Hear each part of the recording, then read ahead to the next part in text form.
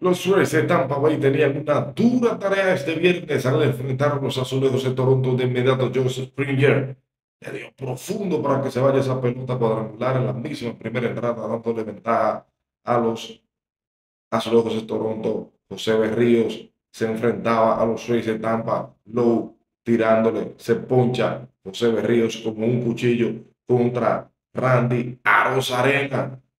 Punche y a sentarse también, como un cuchillo estaba José Berríos, el puertorriqueño, otra vez contra Lowe, ponchado y a sentarse. Varios chocolates se tomó en la noche del viernes. Berrío como un cuchillo contra Rosarena, ponchado y a sentarse.